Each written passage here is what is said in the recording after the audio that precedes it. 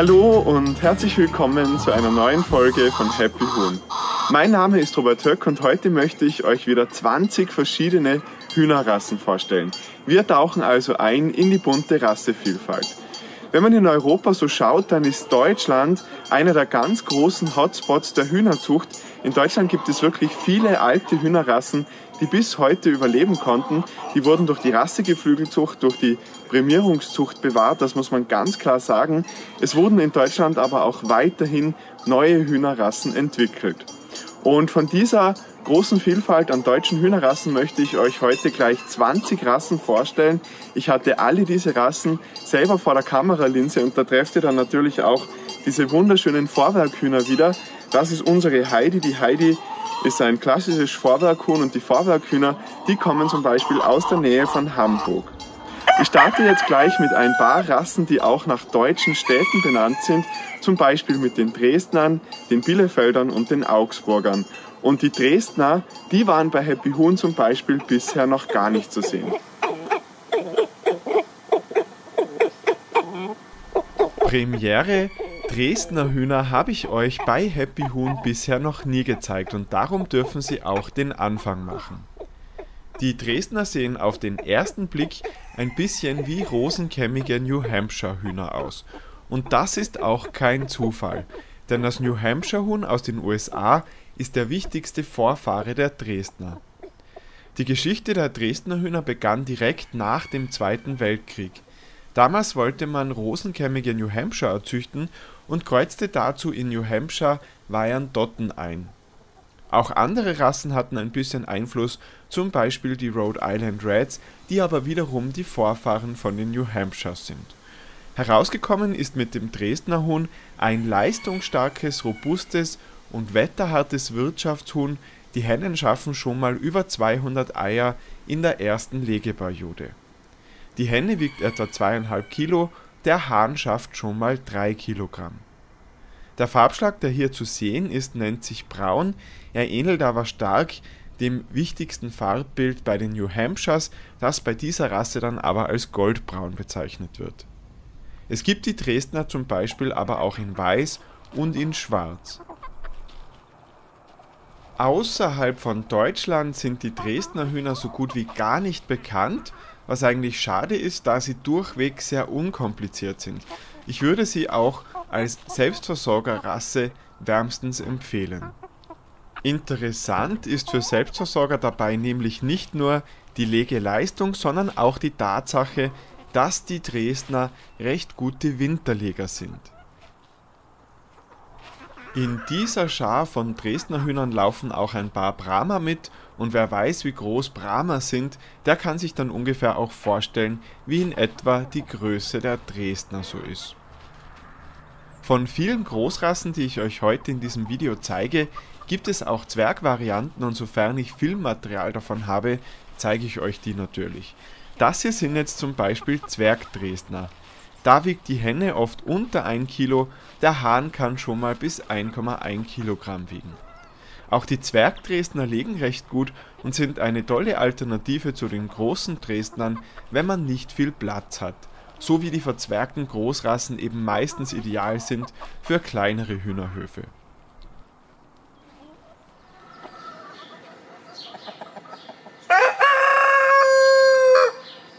Und da hat jetzt ein toller Bielefelder Kennhahn gekräht.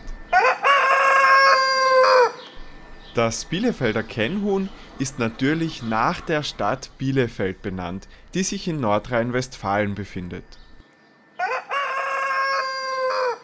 Jetzt kommen wahrscheinlich wieder Kommentare von euch mit dem Spruch Bielefeld gibt's nicht. Naja, wo das eigentlich herkommt. Die Bielefelder Kennhühner gibt's auf jeden Fall und Bielefeld auch, denn ich war selber schon dort. Wie schon das Dresdner Huhn zuvor kann auch das Bielefelder Kennhuhn noch nicht als alte Rasse gelten, da es erst im 20. Jahrhundert entwickelt wurde, in diesem Fall sogar erst in den 70er Jahren. Der Name Kennhuhn verrät schon, dass diese Hühner kennfärbig sind. Das kommt durch die Kombination der Goldhalsigkeit bzw. Wildfarbe mit dem Sperberfaktor zustande Im Auslauf sind kennfarbige Hühner immer super getarnt und das macht Bielefelder Kennhühner auch sehr gut für die Bauernhofhaltung mit Freilauf geeignet. Ein ausgewachsener Bielefelder Kennhahn kann schon mal 3 bis 4 Kilogramm auf die Waage bringen, aber es gibt auch immer wieder Hennen, die sogar die 3 Kilo Marke etwas überschreiten. Es ist also ein Zweinutzungshuhn mit guter Legeleistung, das aber auch aufgetafelt werden kann. Und wir schauen uns jetzt mal die Küken näher an. Der Züchter Johannes Janus erklärt, was eigentlich so diesen Kennsperber-Faktor ausmacht.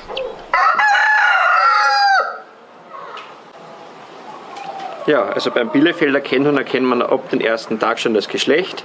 Die Hähne sind deutlich heller als die Hennen und die Hähne haben auch noch den bekannten Sperberfleck. Deswegen sind die kennfärbig. Die Hennen haben auch noch den dunklen Streifen und eben allgemein eher dunkler als die Hähne. Schon kurz nach der Entstehung der großen Bielefelder Hühner wurden auch Zwerg-Bielefelder erzüchtet und mir kommt inzwischen vor, dass die teilweise fast noch beliebter sind als die Großrasse. Bei den Zwerg-Bielefeldern ist sowohl beim Hahn als auch bei der Henne gefordert, dass sie etwas über einen Kilo wiegen. Es sind auch wieder sehr zutrauliche, leistungsstarke Hühner und sie wirken natürlich durch die geringere Größe deutlich leichtfüßiger und eleganter als die großen Bielefelder. Auch nach der südwestbayerischen Stadt Augsburg wurde eine Hühnerrasse benannt, das Augsburger Huhn. Das hier sind reinerbige Augsburger, reinerbig in Bezug auf ihren Kronenkamm, ein zweispuriger Kamm, der das wichtigste Rassemerkmal darstellt. Der ursprüngliche Typ der Augsburger war spalterbig, denn die Rasse entstand durch Kreuzungen von einfachkämmigen italienischen Lamottas mit französischen Laflèche-Hühnern und da entsteht dann ebenso ein spalterbiger, zweispuriger Kamm. Das wäre jetzt zum Beispiel ein Junghahn vom spalterbigen Typus. Heute werden beide Varianten noch gezüchtet, aber beide Varianten sind stark gefährdet, denn schwarze Hühner haben immer noch viele Imageprobleme. Aber schaut euch mal diesen tollen Grünlack im Gefieder an. Ich finde, schwarze Hühner sind ja eigentlich auch gar nicht schwarz sondern sie haben ein richtig tolles farbenschillerndes Federkleid. Augsburger sind vom Charakter her nicht unbedingt die ruhigsten Hühner, aber wenn man sich mit ihnen abgibt, werden auch sie zutraulich. Der wichtigste Farbschlag der Rasse ist schwarz, aber hier sind jetzt zum Beispiel auch blaue Augsburger zu sehen.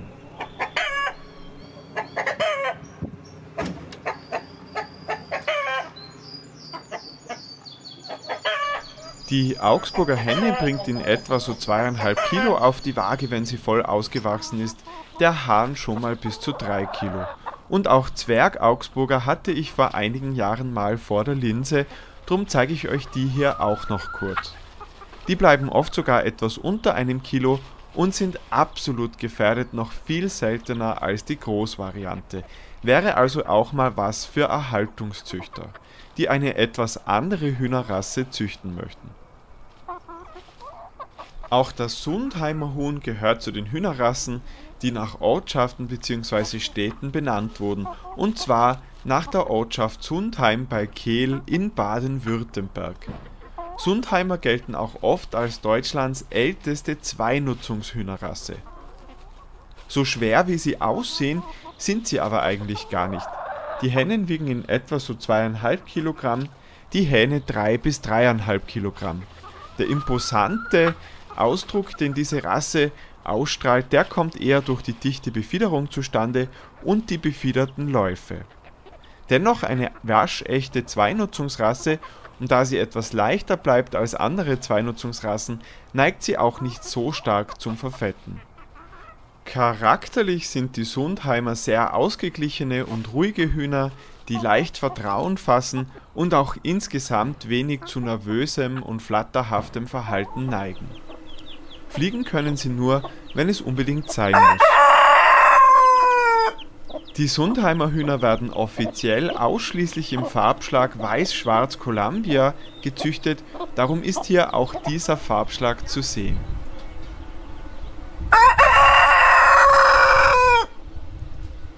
Jetzt wird's geschichtlich betrachtet sehr turbulent, denn auch nach der Stadt Hamburg wurde eine Hühnerrasse benannt, das Hamburger Huhn, hier im Farbschlag Silberlack. Oft werden die Silberlacke auch wie eine eigenständige Rasse als Hamburger Silberlackhühner bezeichnet. Spannend ist die Geschichte hier deswegen, weil es sich trotzdem nicht wirklich um eine deutsche Hühnerrasse handelt. Das Hamburger Huhn, wie wir es heute kennen, ist eigentlich in England entstanden und wird dort auf den britischen Inseln als Spangled Hamburg bezeichnet und ist eine ausgesprochene Zierrasse bzw. ein Ornamental Chicken Breed. Dass die Rasse nach einer deutschen Stadt benannt wird, reicht mir aber aus, um sie euch hier trotzdem auch zu zeigen, denn es ist für alle Zuschauer aus Hamburg auch mal schön zu wissen, dass nach ihrer Stadt Hühner benannt wurden. Auch in Deutschland werden die Hamburger Hühner gezüchtet, denn durch ihre absolut herausragende Schönheit, diese schwarze Tupfung und dazu noch der spitzendende Rosenkamm, haben sie auch wirklich viel Optisches zu bieten und sehen auch freilaufend im Garten oder im Hühnerhof schön aus. Das hier sind jetzt Zwerghamburger, während die großen Tiere im Schnitt so zweieinhalb Kilo auf die Waage bringen, schaffen die Zwerghühner meistens mal grad so ein Kilogramm. Und auch die Zwerghamburger sind natürlich in puncto Schönheit den großen in nichts nachstehend. Neben den mit Abstand beliebtesten gelackten Varianten kennt man Hamburger Hühner zum Beispiel auch noch mit Flockenzeichnung oder auch in einfarbig schwarz und blau. Weitere Hühnerrassen, die nach deutschen Städten benannt wurden, wären zum Beispiel die Annaberger Haubenstrupphühner und die Rulaer Zwergkaulhühner. Aber wir machen jetzt weiter mit dem überaus beliebten Vorwerkhuhn von der Anmoderation. Das Vorwerkhuhn wurde ursprünglich wirklich in der Nähe von Hamburg erzüchtet, also eigentlich würde bei den Vorwerks der Name Hamburger Hühner besser passen als bei den Hamburgern, aber das ist eine andere Geschichte.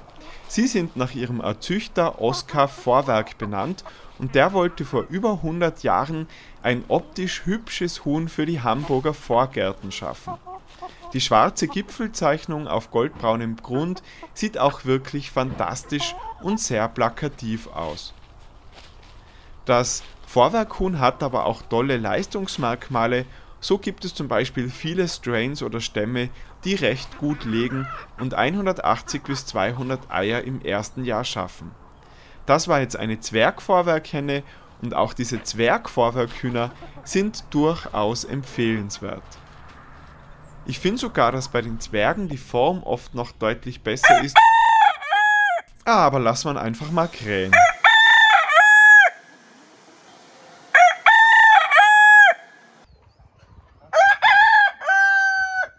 Auch dieser Lakenfelder Hahn kann super krähen und dass die Lakenfelder direkt nach den Vorwerks kommen, ist kein Zufall. Das Lakenfelder Huhn war nämlich seinerzeit der wichtigste Vorfahre bei der Erzüchtung der Vorwerkhühner. Die Verwandtschaft wird auch dadurch deutlich, dass auch die Lakenfelder diese schwarze Gipfelzeichnung haben. Während die Vorwerk sie jedoch auf goldenem Grund zeigen, zeigen die Lakenfelder Hühner sie auf weißem Grund. Diese Schwarz-Weiß-Schwarz-Zeichnung ist eines der schönsten Zeichnungsbilder, das sich beim deutschen Rassegeflügel findet. Beim Lakenfelder Huhn ist nicht ganz klar, ob es eine niederländische oder eine deutsche Hühnerrasse ist, denn in den Niederlanden gibt es nicht nur das Lakenfelder Rind mit ähnlicher Zeichnung, sondern auch die Bauernschaft Lakerfeld in der Nähe von Utrecht. Trotzdem gibt es aber auch echte historische Hinweise für eine Herkunft des Lakenfelder Huhns aus Deutschland.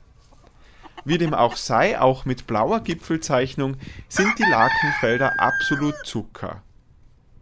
Sowohl Hennen als auch Hahn zeigen bei dieser Rasse eine üppige Schwanzbefiederung, die überdurchschnittlich lang ist.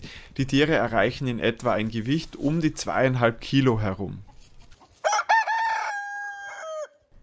Im Schnitt legen Lakenfelder Hennen so um die 150 Eier im Jahr. Da sie sehr langlebig sind und über viele Jahre hinweg Eier legen, gleicht sich diese eher moderate Leistung aber mit der Zeit wieder aus. In der Blauzucht fallen dann auch schwarz gezeichnete und splashfarbene Tiere, wie beispielsweise die Henne im Vordergrund, denn auch die blau gezeichneten Lakenfelder tragen den Faktor für das spalterbig Blau bzw. Splash. Eine Rasse, die in aller Munde ist, gerade bei Einsteigern in die Hühnerhaltung, ist immer das deutsche Sperberhuhn. Viele denken immer, sie hätten deutsche Sperber, weil sie sich gesperberte Hybridhühner gekauft haben. Tatsächlich gibt es auch gesperberte Hybriden, die sind aber nicht das gleiche wie das alte historische Rassehuhn deutscher Sperber. Und ich zeige euch hier natürlich die echten deutschen Sperber. Mit ihren fleischfarbenen Läufen und den überhängenden Schlotterkämmen der Hennen kann man sie meistens von den Hybriden unterscheiden, die in den gesperberten Varianten häufig gelbe Läufe haben und kleinere Kämme. Die Zuchtgeschichte der deutschen Sperber reicht weit über 100 Jahre zurück, sie wurden vor dem Auftreten der ersten Hybridhühner als eine der besten Legehühnerrassen Deutschlands gehandelt. Die Tiere haben fast gar keinen Bruttrieb, legen etwa 200 bis 240 Eier im ersten Jahr und sind sehr gute Futtersucher, wenn sie im Freilauf gehalten werden. Charakterlich sind sie so im Mittelfeld, weder übertrieben wild noch außerordentlich zahm. Ich würde sie einfach als aufmerksam und umtriebig bezeichnen. Sperberung vererbt sich ja geschlechtsgebunden, der Hahn hat das Gen für Sperberung zweimal, darum ist er deutlich heller gezeichnet als die Hennen. Nun kommen wir zu einer Rasse, die ich euch bisher vor allem im Zwergenformat gezeigt habe, das deutsche Langschanhuhn. In ihrer Großversion sind die deutschen Langschans überaus imposante Erscheinungen und werden auch gerne scherzhaft als Stelzenhühner bezeichnet, da sie auch ausgesprochen langbeinig sind.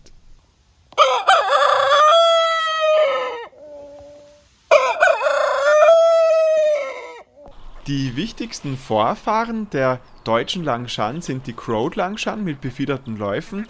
In Deutschland hat man Crowd Langshans ohne Fußbefiederung erzüchtet und daraus wurde dann eben die eigenständige Rasse Deutsch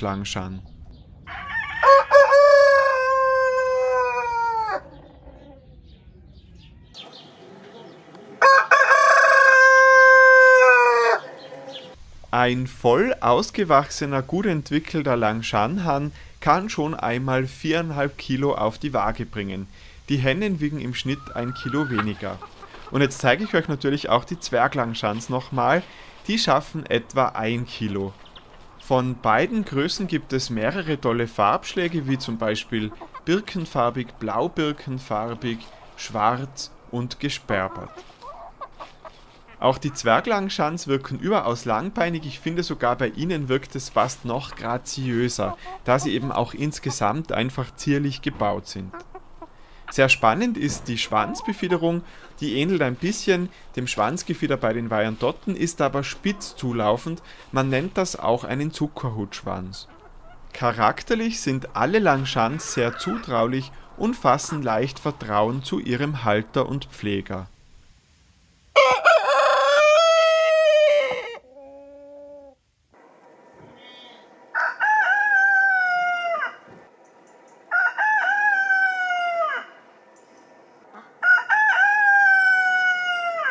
Deutsche Sperber, deutsche Langshan und jetzt auch noch deutsche Lachshühner. Gar nicht wenige Hühnerrassen tragen Deutschland also auch in ihrer Bezeichnung. Beim deutschen Lachshuhn kam das zum Beispiel zustande, weil diese Hühnerrasse ursprünglich direkt auf die französischen Favarolais zurückgeht. In Deutschland entstand aus den Favarolais ein eigenständiger Typ und den nannte man dann irgendwann nur noch deutsches Lachshuhn bei den Lachshühnern wirkt genetisch betrachtet ein Farbverdünner, der aber nur bei den Hennen zeitlebenswirksam bleibt. Als Küken sind beide Geschlechter hellgelb, aber die Hähne dunkeln dann später stark nach. Und wie man hier sieht, haben die Gockel dann eben auch einen erheblichen Schwarzanteil in ihrem Gefieder. Dadurch kann man Hahn und Henne aus der Ferne super voneinander unterscheiden. Die deutschen Lachshühner sind sehr gemütliche Tiere, ausgeglichene Charaktere, darum ist es oft auch möglich, mehrere Hähne der Rasse zu halten. Sowohl Hahn als auch Henne überschreiten die 3-Kilo-Marke, manche Hähne wiegen dann sogar 4 Kilo. Dieser Zwerglachshahn bringt etwa 1200 Gramm auf die Waage.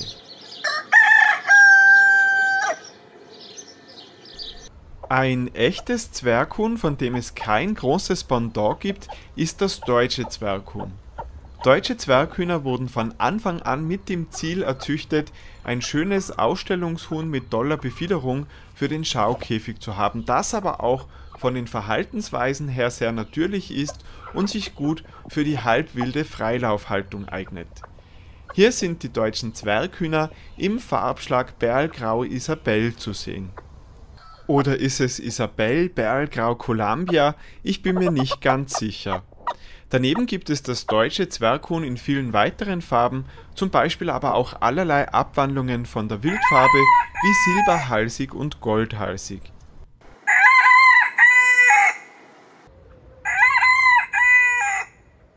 Mit etwa 800 bis 1000 Gramm Gewicht sind die deutschen Zwerghühner vor allem als Zierrasse interessant, weniger als Wirtschaftshuhn.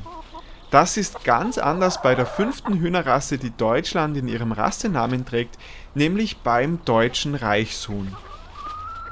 Das deutsche Reichshuhn hat leider ein bisschen ein Imageproblem, dabei ist es gar nicht im Zweiten Weltkrieg gezüchtet worden, sondern schon viel älter. Natürlich wurde es mit dem Bestreben erzüchtet, die Bevölkerung mit Fleisch und Eiern zu versorgen, aber das ist eine andere Geschichte. Aus heutiger Sicht ist das deutsche Reichshuhn einfach eine interessante Zweinutzungsrasse, die sowohl als Tafelhuhn als auch für die Legeleistung gut eingesetzt werden kann mit hohem Eigewicht von 65 bis 70 Gramm. Diese großen deutschen Reichshühner waren jetzt im Farbschlag Weiß-Schwarz Columbia zu sehen, auch deutsche Zwergreichshühner möchte ich euch zeigen und die sehen in Rot absolut schön aus. Beide Größen gibt es aber gleich in mehreren Farbvarianten und man kann sich einen bunten Hühnerhof alleine mit den Reichshühnern zusammenstellen. Charakterlich sind sowohl die Zwerge als auch die Großen ruhig ausgeglichen und überaus angenehm im Umgang. Jetzt kommt eine der ältesten noch existierenden deutschen Hühnerrassen, das Bergische Kräherhuhn. Bergische Kräher gehören zur Gruppe der Langkräher, wo sowohl die Hennen verlängert gackern, als aber auch in erster Linie die Hähne sehr langgezogen krähen sollen.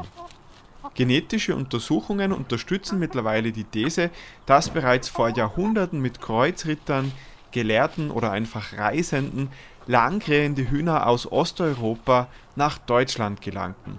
Im Bergischen Land entwickelten sich regelrechte Langkräherzuchten und es war eine Zeit lang sogar ganz typisch, dass man dort in den Orten am Morgen langgezogenes Hahnenkrähen hören konnte. Heute ist das leider nicht mehr so, der Bergische Kräher ist eher selten geworden und es werden auch keine Langkrähwettbewerbe mehr veranstaltet, um die besten Zuchthähne für die Weiterzucht zu eruieren. Vielmehr wurde der Bergische Kräher eher auf optische Merkmale hin selektiert. Da kommt dann sowas dabei heraus, Bergische Kräherhähne, die nur noch geringfügig etwas länger krähen. Hier auch noch ein Zwergkräher.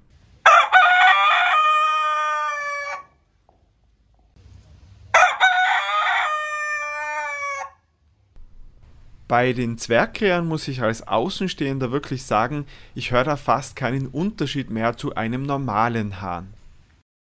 Leider gibt es nur wenige Tiere, aber es wäre trotzdem toll, wenn man in Zukunft wieder den Krähruf der Hähne bei dieser Rasse in den Fokus stellen könnte.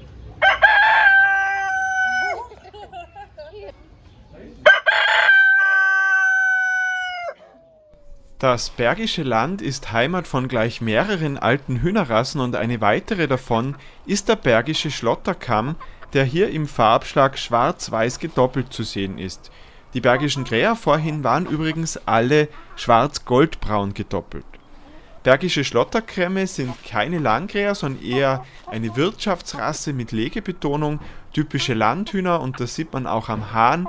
Er hat wunderschöne Formen, wirklich genauso wie man sich alte historische Landhähne in Mitteleuropa vorstellt. Es gibt weitere Farbschläge, zum Beispiel sehr beliebt sind die bergischen Schlotterkämme auch noch in Schwarz. Ebenfalls eine bergische Rasse ist das Krüperhuhn. Krüperhühner werden auch als Kriechhühner oder Dachshühner bezeichnet, weil sie einen sehr lustigen Gang haben, der durch stark verkürzte Läufe zustande kommt. Die Kurzbeinigkeit hat züchterisch betrachtet aber auch Nachteile. Die Tiere hier konnte ich im wissenschaftlichen Geflügelhof des BDAG filmen, wo die Tiere bewusst in der Zuchtgruppe mit langbeinigen Hühnern gemischt gezüchtet werden, da eben reine Zuchten aus kurzbeinigen Hühnern eine Letalität mit sich bringen. Trotzdem ist dieser Hühnertypus uralt und egal ob jetzt kurzbeinige oder langbeinige Krüper, man sieht hier auch sehr schön die große Farbenvielfalt bei dieser Hühnerrasse. Weiß, gesperrbart, rebhuhnhalsig und schwarz sind aus heutiger Sicht die wichtigsten Farbschläge. Angeblich sind die kurzbeinigen Hühner früher näher bei den Höfen geblieben, wenn man sie frei laufen ließ, und das war einer der Gründe, warum sie eine Zeit lang so beliebt waren. Ich zeige euch hier jetzt nochmal ein paar Tiere aus dem Freilichtmuseum Detmold in NRW, wo man Krüpper sowohl in einer weißen Zuchtgruppe als auch in einer schwarzen Zuchtgruppe ganz stilecht bei alten nordrhein-westfälischen Bauernhöfen bewundern kann. Die Krüpper sind vom Charakter her recht zutrauliche Tiere, bewegen sich von der Legeleistung her im Mittelfeld und erreichen in etwa ein Gewicht von 2 bis 2,5 Kilogramm, seltener auch mal bis zu 3 Kilogramm.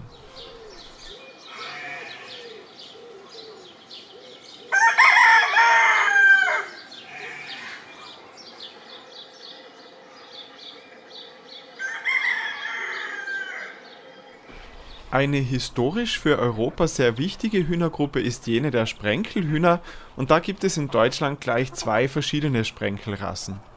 Die erste, die ich euch hier zeige, das ist die ostfriesische Möwe aus dem deutsch-niederländischen Grenzgebiet.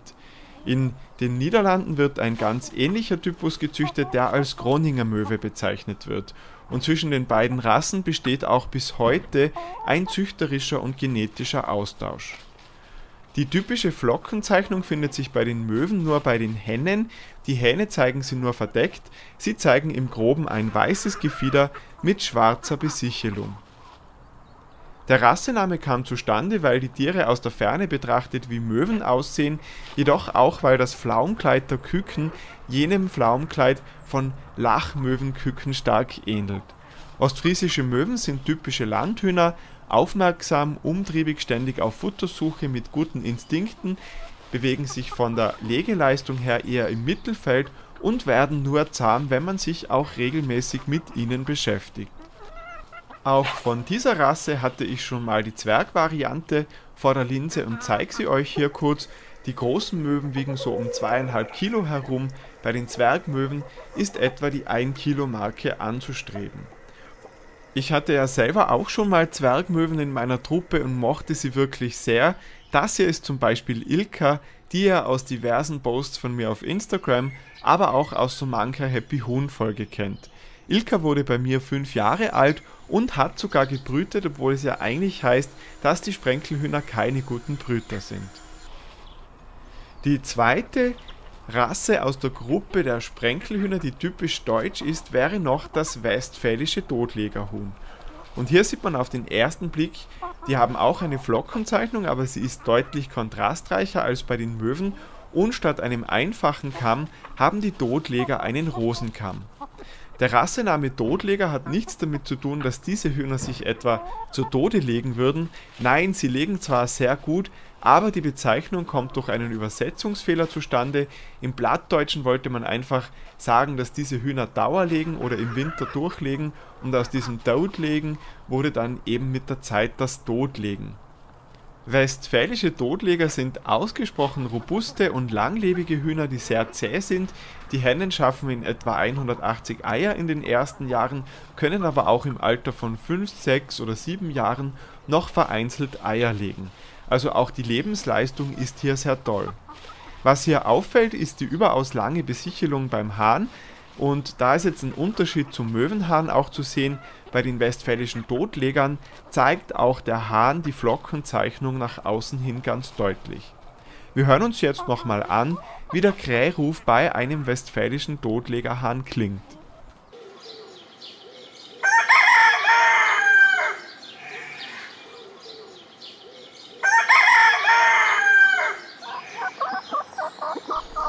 Die Rassevielfalt in der deutschen Hühnerzucht ist wirklich beeindruckend. Wir sind jetzt schon bei Nummer 18 und mit dem Thüringer Barthuhn haben wir da jetzt keineswegs ein langweiliges Huhn, sondern eher so nach dem Motto, ein Highlight jagt das nächste. Thüringer Barthühner werden in Thüringen auch als Otterköpfchen oder Thüringer Bausbäckchen bezeichnet, denn sie haben diesen üppigen Bart an der Stelle, wo eigentlich bei anderen Hühnern die Kehllappen wären. Von den Appenzeller Barthühnern aus der Schweiz kann man sie am Kamm unterscheiden. Thüringer Barthühner haben immer einen Einfachkamm, während Appenzeller Barthühner einen Rosenkamm haben. In diesen gedupften Varianten ist auch der Grünlack jetzt gerade sehr schön zu sehen gewesen beim Hahn. Hier jetzt noch auf goldenem Grund, vorhin war eben äh, silberschwarz gedupft zu sehen. Es gibt die Thüringer Barthühner aber zum Beispiel auch in Blau, Schwarz und Weiß. Das Thüringer Barthuhn ist zwar eher eine Zierrasse, kann aber auch bis zu 180 Eier im Jahr legen und bewegt sich vom Gewicht her in etwa rund um die 2 Kilo Marke. Auch der Farbschlag Chamois, beziehungsweise eigentlich ja gold-weiß getupft, hat viele Fans und sieht auch echt toll aus. Ich sag zu denen immer Weihnachtsmannhühner, weil sie diesen weißen Bart haben und eben auch aussehen wie goldene Hühner, die weiß angeschneit sind absolut liebenswürdige Zeitgenossen, die sich auch gerade für Kinder und für die Hobbyhaltung gut eignen. Dieses Farbbild, ich nenne es jetzt mal Chemois weiß getupft, ist leider auch gar nicht leicht zu züchten.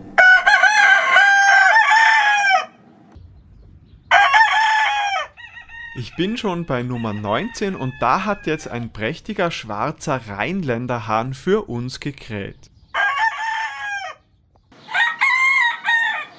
Im schwarzen Farbschlag sind die Rheinländer Hühner überaus kostbar, denn bei ihnen kam es noch kaum zu Einkreuzungen von fremden Rassen. Sie sind eine der letzten verbliebenen Hühnerrassen aus dem westeuropäischen Cluster, die noch genetisch sehr rein sind. Mehr zu den Rheinländern kommt bald mhm, in einem eigenen Porträt. Jetzt kommen wir zu Deutschlands einziger heute noch existierenden Hühnerrasse, die nicht für die Ausstellungszucht in eine Farbschablonen- bzw. Farbschlagschablone reingezwängt wurde. Ich habe es jetzt ein bisschen brutal formuliert, aber ihr wisst ja, vor dem 19. Jahrhundert, als es so in Mode kam, Hühner eben wirklich für Ausstellungen zu züchten, gab es europaweit vor allem bunte Landhühner und die sind heute tatsächlich fast ausgestorben. Zum einen eben wegen der Hybridhühner, zum anderen aber eben gerade auch wegen der Ausstellungszucht.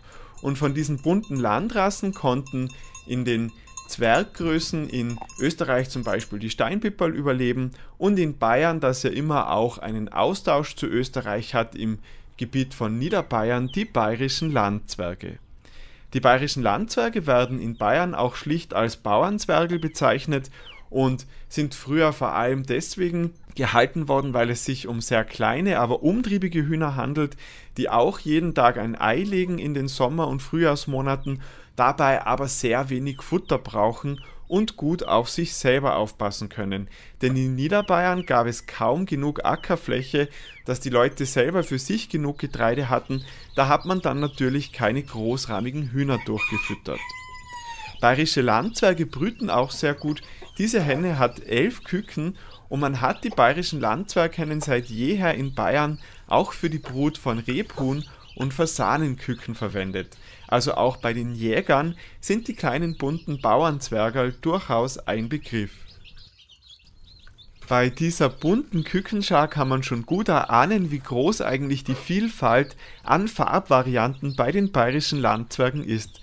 Neben diversen Scheckungen und Abwandlungen der Porzellanfarbe findet man die Landzwerge zum Beispiel auch in Wildbraun und in allen Zwischennuancen, die man sich vorstellen kann. Was der Zufall zustande bringt, ist erlaubt, die Lauffarbe ist jedoch meistens gelb, um die Unterscheidbarkeit zu den österreichischen Steinpipperl zu gewährleisten. Auch Rosenkämme kommen bei den Landzwergen vor. So, und jetzt habt ihr gesehen, ich blende euch noch eine 21. Rasse ein. Warum? Wir hatten ja ganz Anfang bei den ersten fünf Rassen das Hamburger Huhn, das ja zwar nach einer deutschen Stadt benannt wurde, aber streng genommen keine deutsche Hühnerrasse ist. Und darum jetzt auf Platz 21 noch als Überraschung das Sachsenhuhn. Auch das Sachsenhuhn ist eine alte, erhaltenswürdige Rasse, hier im Farbschlag gesperrbert, bei Selbstversorgerin Anja von Anjas Gartenreich zu sehen. Wenn euch das Sachsenhuhn interessiert, dann schaut euch doch meine gemeinsame Folge mit Anja an, in der ich euch das Sachsenhuhn näher gebracht habe.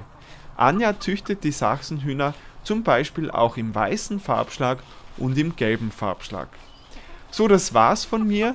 Vielen, vielen Dank fürs Zuschauen. Schaut doch auch mal auf Instagram vorbei. Happy.huhn heiße ich dort. Und im Beschreibungstext findet ihr natürlich wieder weiterführende Links zum Thema und zu den Rassen.